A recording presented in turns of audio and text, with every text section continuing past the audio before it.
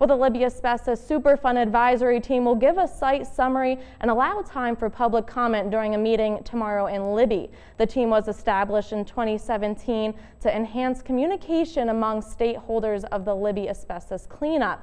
The team will also advise the Montana DEQ on the Cleanup Trust Fund operation and maintenance accounts on the project. As cleanup nears it uh, its end in many areas of the Libby asbestos site. The Montana DEQ and EPA will work with the team and the community to protect the cleanup in Libby. Karen Olgan with the DEQ says this meeting is a step towards that ultimate goal community members are the biggest stakeholders, and so we really encourage them to come and join us and stay informed and get their questions answered. And there will be a question and answer period during the meeting.